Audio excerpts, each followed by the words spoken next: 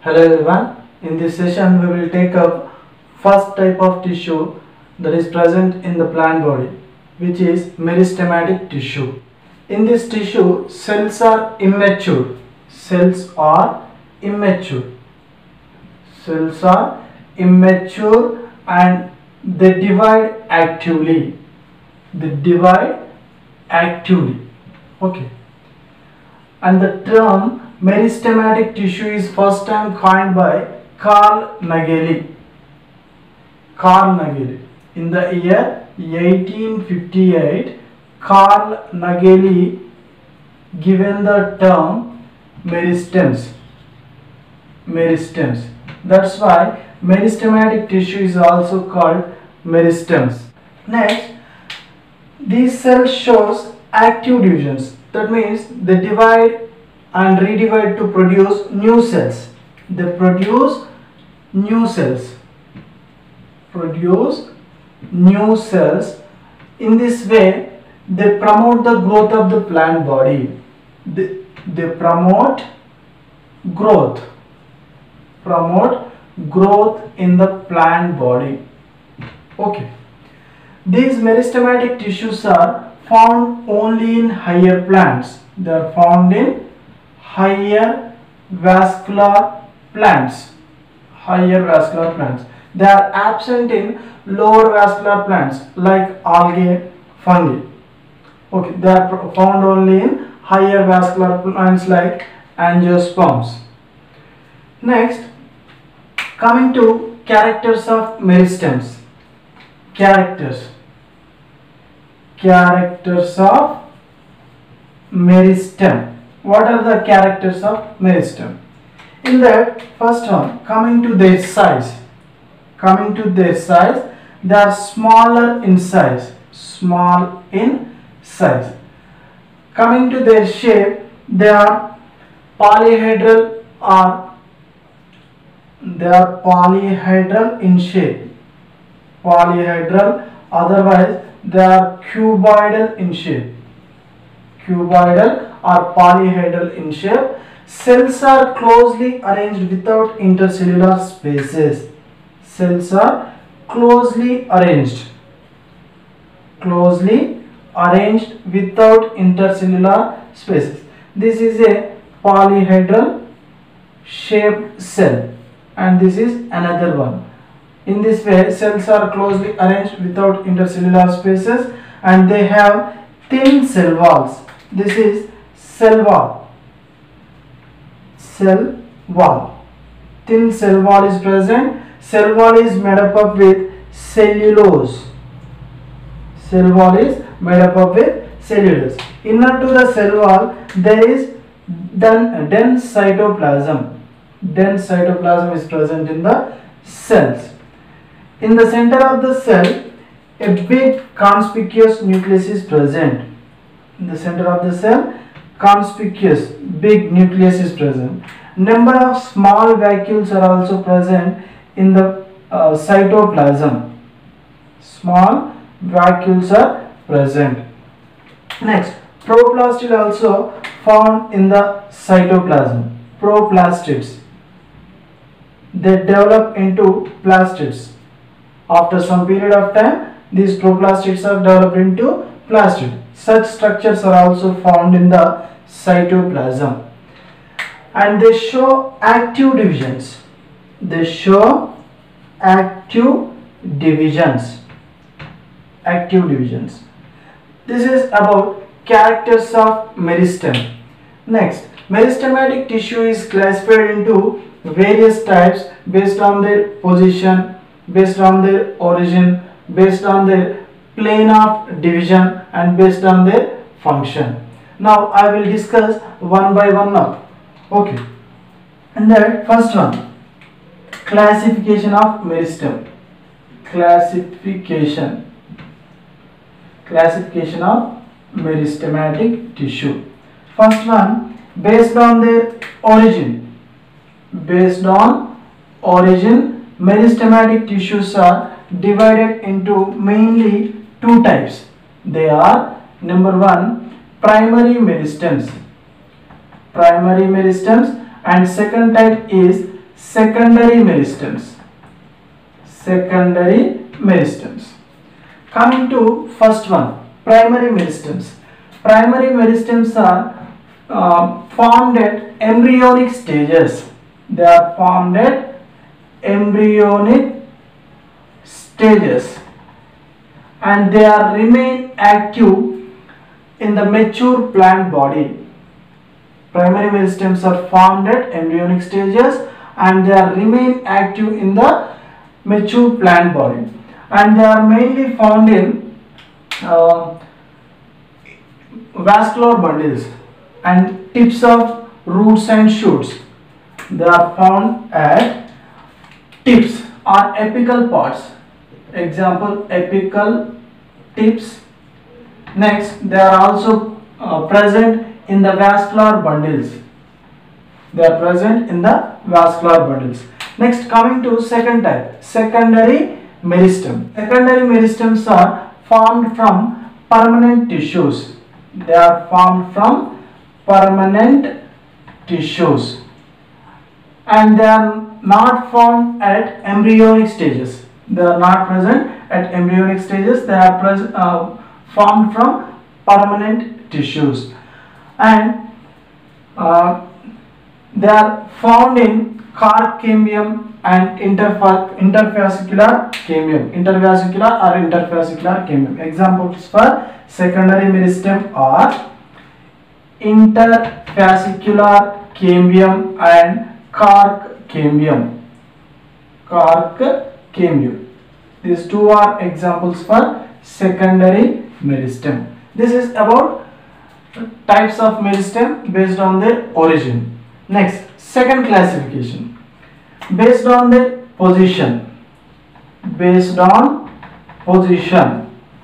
Based on position meristematic tissues are classified into mainly three types. They are number one apical meristem apical meristem. Second type is intercalary meristem. Intercalary meristem. And third type is lateral meristem. Lateral meristem. Okay. Next first one. Coming to apical meristem. This is a plant body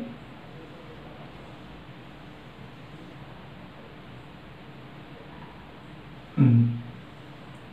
you imagine that this is the primary plant body. In the primary plant body lateral branches are also present apical tips are tips are also present in the plant body. Coming to first type based on their position apical meristem. Apical meristem is present at the root tips and shoot tips. They are present at the root tips and shoot tips branches and stems apical tips. Apical tips. And coming to function of apical meristem they they are useful in uh, increasing in length of the plant body. Increasing in length of the plant body otherwise they help in linear growth. Linear growth of plant body. Linear growth of plant. Okay next. Coming to intercalary meristem. Intercalary meristem. These meristems are present between two permanent tissues. Present between two permanent tissues. Two permanent tissues. And they are separated from apical meristems during the course of growth. During the course of growth intercalary meristems are separated from apical meristems.